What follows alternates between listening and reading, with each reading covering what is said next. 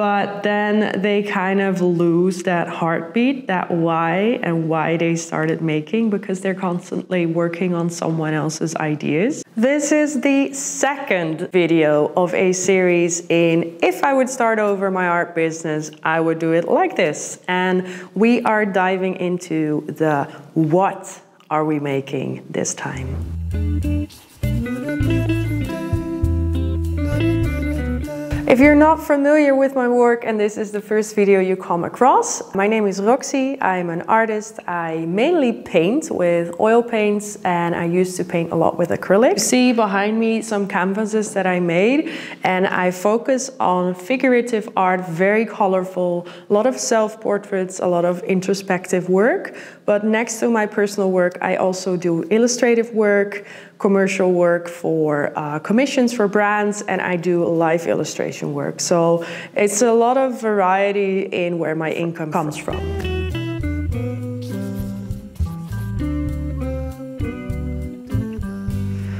Now that we have established why we are making, if you haven't seen that video, go check out the first one first. We are diving into what we are making. So that means, are you a watercolor artist that works on paper and you just need a desk? Or are you a painter that works large scale and you need quite a big space to work in, like me? Or maybe you're even a muralist and you need buildings to work on. This is not a set question that you need one answer to and it cannot change forever. It is something that can develop. It definitely developed for me. I started out on my table at home and then I got my first studio, and then I got my second studio, and now I'm in my third studio, and my work keeps growing with it. I'm also not saying I will never paint on a building. I mean, it would be really cool. but saying that, it is nice to have a starting point for yourself. It's good to realize if you have, for example, a very steady hand and you make almost technical drawings and they take a long time to develop, or if you have a very rough handwriting, like I do as well and you're pretty quick with painting. These kind of things, they can obviously develop, but in general, you're kind of gonna be in a steady hand, takes a long time, very precise, or you're gonna be in the rough, uh, very abstract, expressive uh, painting uh, side. There's like a, a, ton in between, but it's good to realize kind of what camp you're on, like what genre you're on. What do you want to make? I'm not asking you what you're making now, but what you actually want to make. It could be that you're at a point where what you want to make is not possible because you don't have a building to paint on, for example, or you don't have a big studio to make large oil paintings. I mean, that totally makes sense, especially in the beginning. You're gonna have to start small and work your way up. But if that is the case, I would encourage you to try it first. Try that big scale oil painting first. Try that building first before you set out your path to reach that goal, and maybe you're gonna find out that it's actually not something that you want. Obviously, some things are harder than others. It's pretty hard to find a building to paint on. However, there might be a wall that is available for you to paint on temporarily and you can try it out because painting on paper small is very different than painting on a really big wall, for example. So you don't have to paint a 40 story building first. That's not going to be happening, but you can at least try a big scale, see if you like it. Same with large scale paintings. Try it first, and whether it's on your living room floor or whether it's in someone else's studio that you can visit for a time, see how it works. If that is something that you want to work towards, that's perfect. If it's something that you find out you don't actually like, then you don't have to work towards it. It doesn't help to think, I want to do this, but then never create the opportunity for yourself to not do it because you're not able to. Because if that is the heartbeat of your art, you are going to find a way to do it. Obviously, there are different situations, not, not everyone is in the same situation.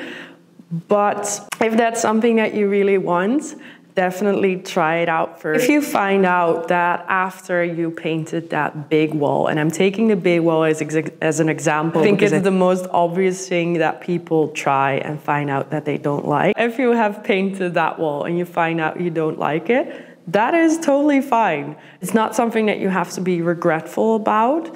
It's just something that you found out you don't like. Maybe it's the physical labor that is too exhausting.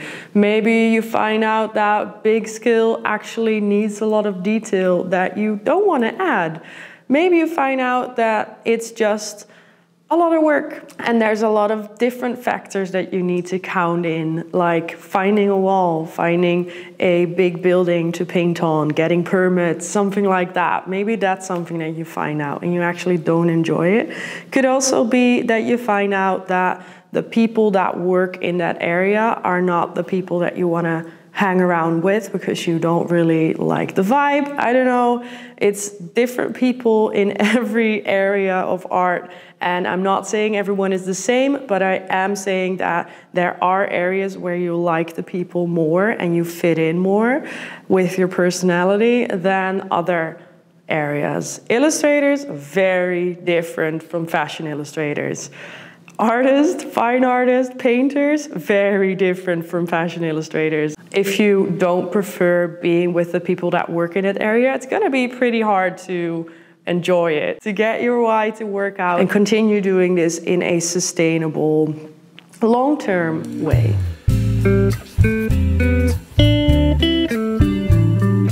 Since this is a business series of videos, we are diving into this chapter of how we are going to do it. It's like we have all the words, like the why, the what, the how. But now that we've established what we are making, it's time to find out how we are actually making any money in that area and how we're gonna going to live off it because that is just the reality in today's world.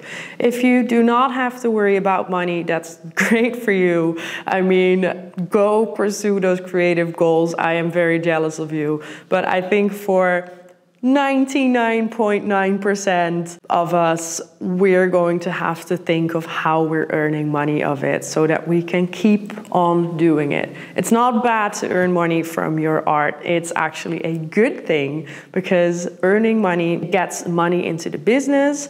If you have profit in the business, then it makes you make better decisions for your business and for your art and what you want to do in the long term. I think it actually makes you more creative as well because you don't have to think of the next thing coming up. You can kind of decide on long term projects and decide which ones are good for you and not just for your wallet. In the next chapter, we're diving deeper into the numbers, but for now, we're going to explore ideas, and that is good enough for now. I come from a design background. I studied fashion design in school, but it's a design background nonetheless. Art and design are very different things. You can be a very creative designer, but you can also be a very commercial artist. And those are different things. In short, and I don't want to step on anyone's toes here because it's a very touchy subject with a lot of people.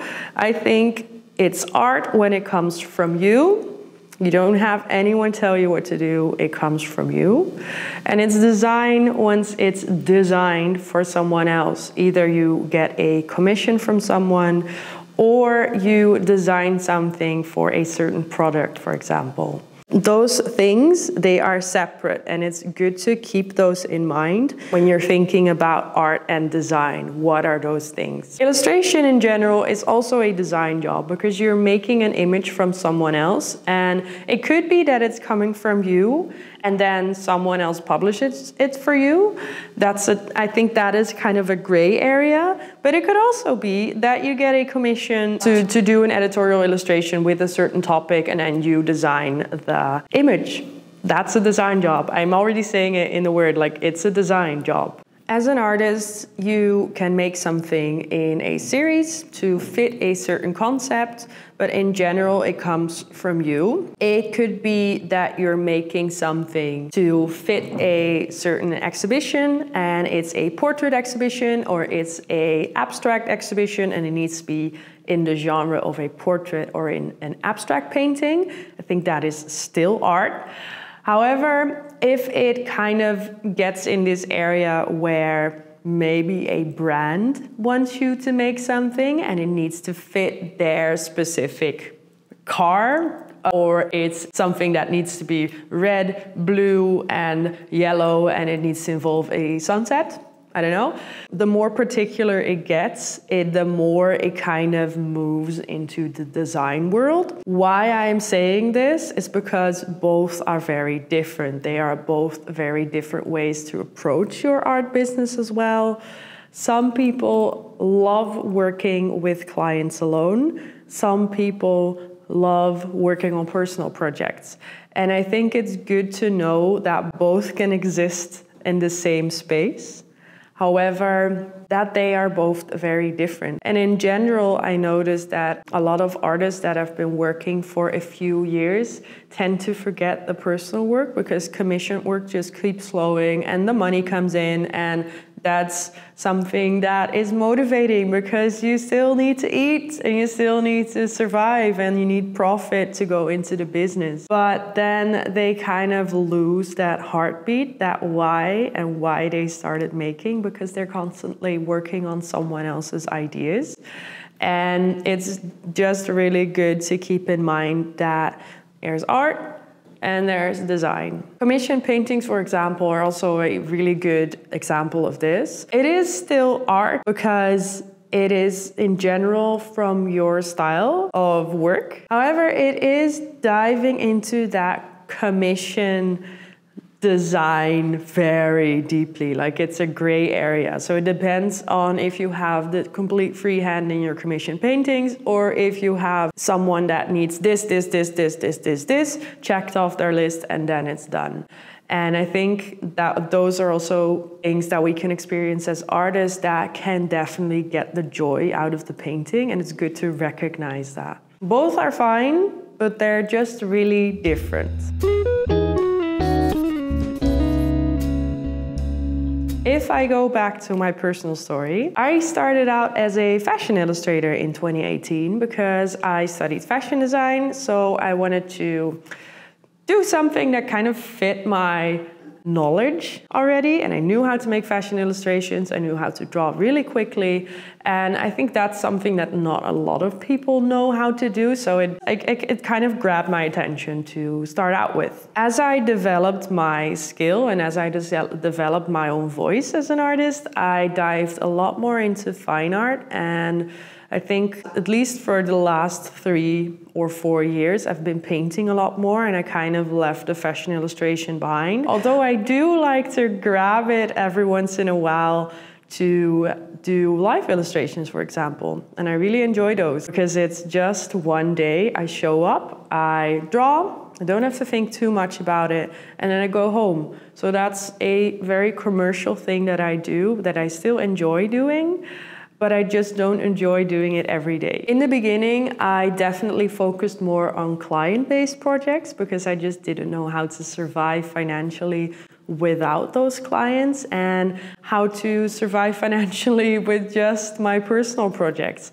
I don't think I had the right education for that. I definitely know a lot more now than I used to. I, I, I know that in general, art academies are very bad with the money side, so I don't think it would be very much better if I did a fine art degree. But I just want to say that I had no idea how to do that in the beginning. So if I would start over, I would definitely dive more into that part of my business, like selling originals to collectors, for example. That's something that I knew existed. I just didn't know how to do that. And it took quite some years to find out a way that worked for me. I'm still developing that. It's still very small, but now at least I know what kind of works and what works for me. Besides that, though, besides that personal work selling to collectors, I don't think I would start really differently because the commercial side of the work in the beginning was very important for me to um, realize and to develop and to use now because now I work a lot less with clients. However, I do know how to work with them and I do know how I can get that back. And it learns you so much about running a business because do not forget that you are not just painting away and you're not just doing this for fun. I mean, you might, but it's still a business. You still need to earn money doing it. And you are your own business here. There's not just one client job to go to, there's also not just one personal art route to go to. You kind of just have to try a lot of different things to find out what works for you and what you like doing. But you also just have to start out somewhere. If I learned one thing is that you can always change up along the way. And if you find out client work, for example, is not for you, you can start doing a lot more personal work. You've learned a lot and you're gonna take that with you to your personal work and both things can live alongside and they will actually probably better your work. It's also something that could give you a head start in the area that you want to work in instead of having to start over from zero. And maybe you'll find out that you enjoy doing both, like I do. So next up in this series is about planning a long term. It's not a short term project, it's a long term project. And what do we actually want to reach?